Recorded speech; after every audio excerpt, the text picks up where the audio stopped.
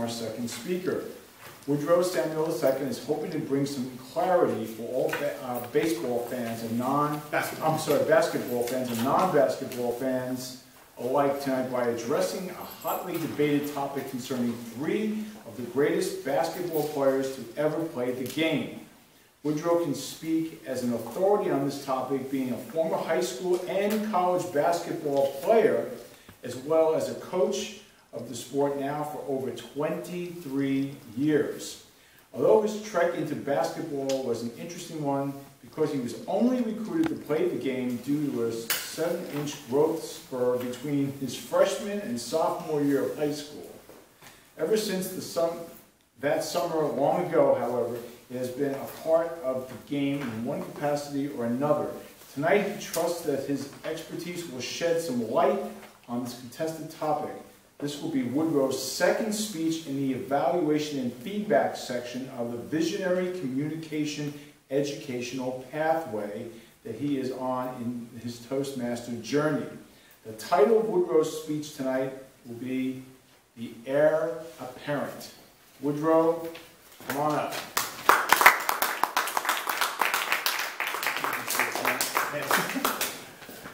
So I start with a story that's a little bit unrelated. And by the way, good evening, fellow Toastmasters. And I believe we are without guests this evening, so good evening to our fellow Toastmasters.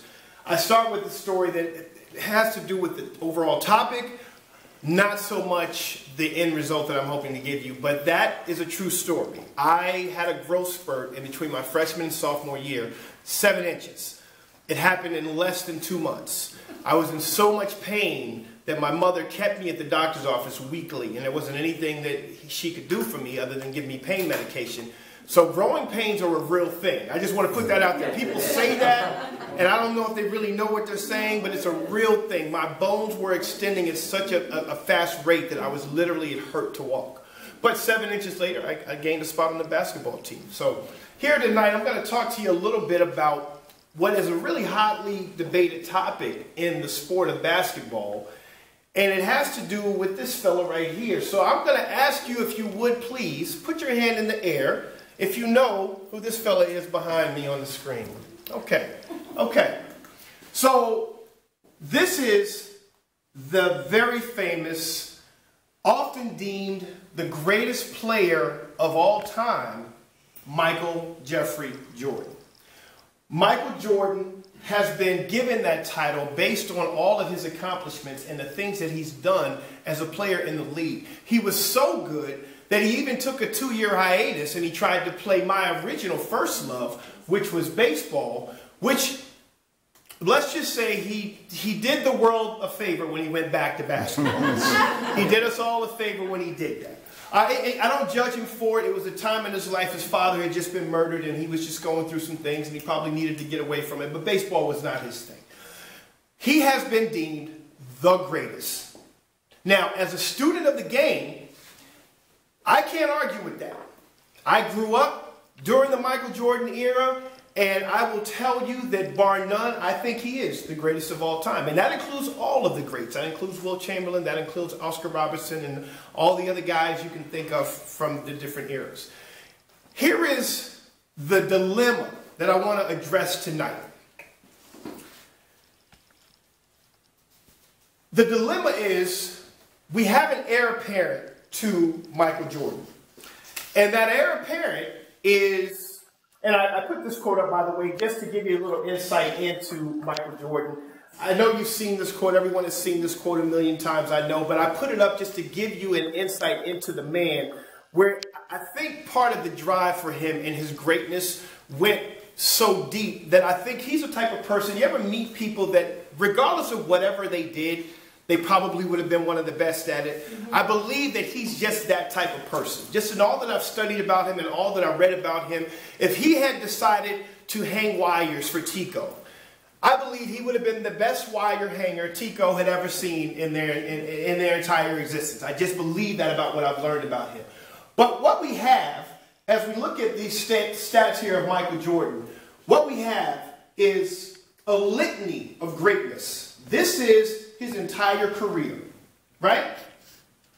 We have over a thousand games, just south of, I mean, just south of 1100, and he averaged 30 points for all of those games, and you see all the other stats. But now let's get into the dilemma a little bit. Here's the dilemma. He has been, there has been an heir apparent deemed, right? And to me, it's a little surprising that it's this guy. Now, how many of us are familiar with this guy? Raise your hand, right? Also, phenomenal basketball player.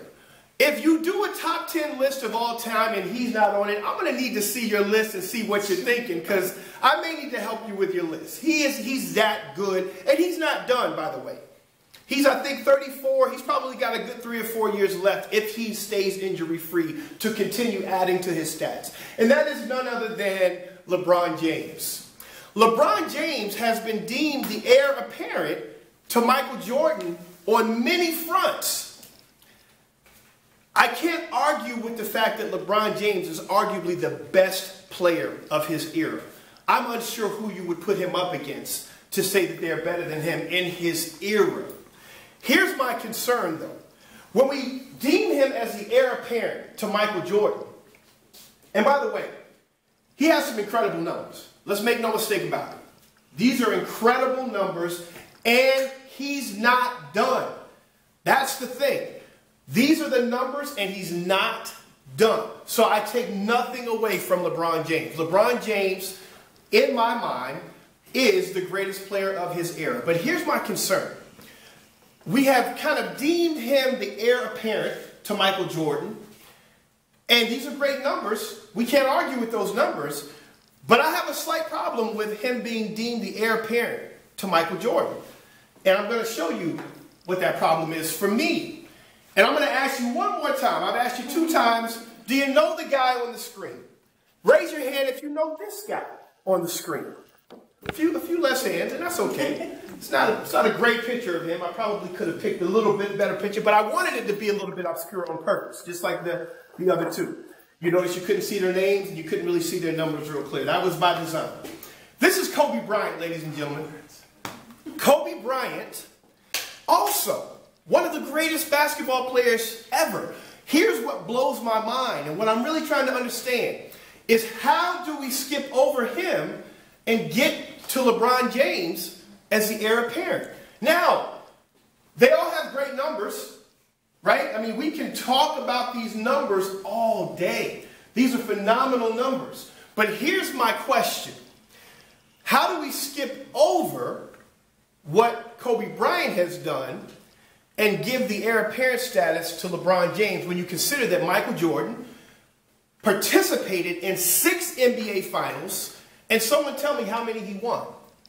Six. Six. He was six for six.